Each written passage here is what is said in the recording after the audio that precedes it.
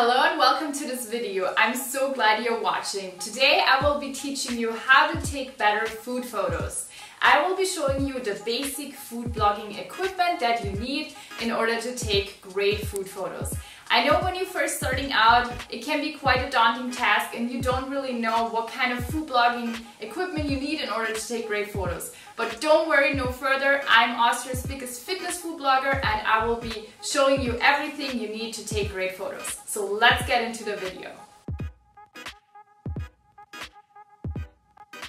It's gonna be hard to take a photo without some kind of camera, so let's start off with camera equipment. I am shooting with a Nikon. I started out with a D90. Right now I have a D750. That's the one I'm filming with right now actually. And I, in between I had a Nikon D7500, which are all amazing cameras. The D7500 is one I can recommend for beginners. And um, then it all comes down to the lenses.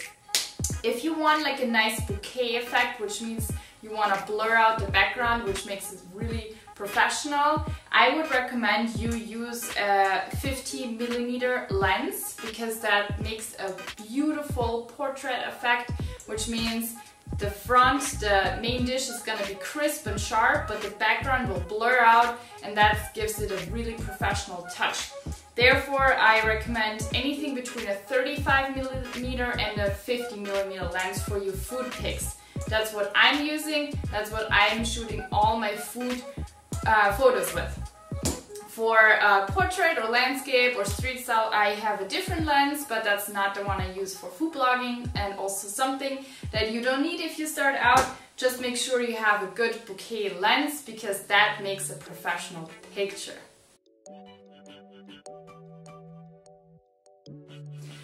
The next thing you really need as a basic is a backdrop. I have my backdrops in all different shapes and forms and sizes. Here is a marble one, then here I have uh, wood plates.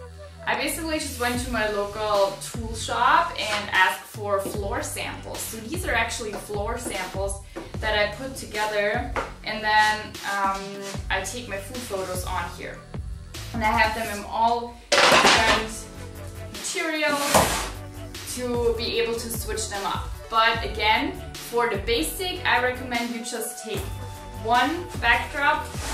I usually like to recommend something bright. That's why I love the marble background. I use it all the time. It's a really, really good point to start with.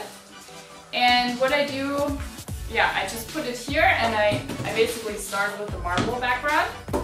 And then another basic thing I would really recommend you guys to get is a backdrop fabric because this is something I always, on every single food picture, I put it in the background to make the, the back really blur out and it looks more professional. If you place your dish here and then you have a white background, then you can blur out too. So a white background fabric and a white backdrop. That's like the basic basic you need in order to start with a good food photo. Moving on to the next category. Another basic for a good food photos are um, kitchen towels. So I have them again in different colors and different textures but again, for you guys, because this is a video about the basics, I recommend you get a white kitchen towel. This is something you can use for every single food photo. I use it a lot. I also just place it in the background of my photo because it makes it look more interesting.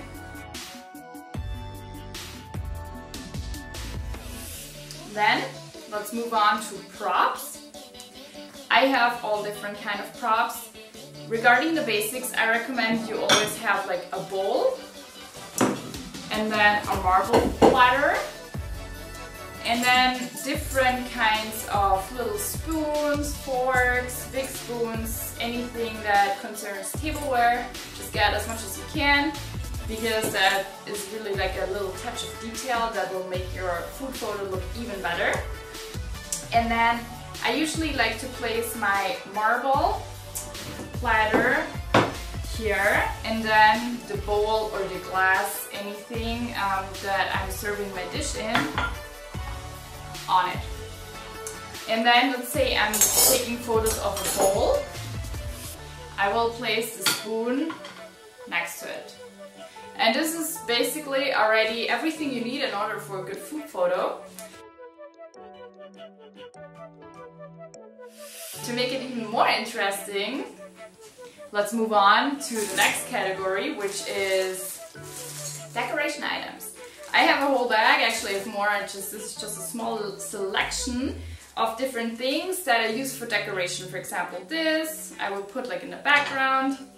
And then I have a lot of seasonal stuff that I would not use for every photo. For example, if it's Easter season, I have like a bunny. Um, there's a rope that always looks really good if you just put it in the background somewhere. And then, yeah, just different kinds of things like Easter eggs or cookie cutters that I like to use for fruit. So make sure you, you have some little decoration items that you can put around your food photo because that will make it look even nicer. And then I recommend you have like a little tiny little bowl where you can showcase any of the ingredients that you use in your dish. And then just, let's say I am making um, like a pad thai or something and I use uh, peanut butter or peanuts in general I would um, put some peanuts in here and then put them, put it right next to my pad thai bowl and then maybe I would sprinkle some peanuts all over again. So to make it look more interesting.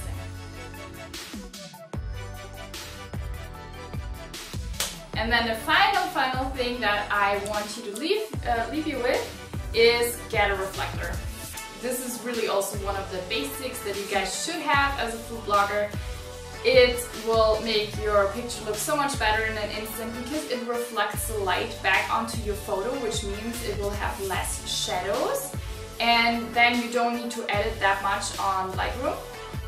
And for example, today the sun comes from this side so that means the, the light comes uh, hits my photo from this side which means I will put the reflector on this side to have the light reflect back on my bowl so all the shadows here will be gone because the light is reflected onto the dish again. So I will have more light on the photo.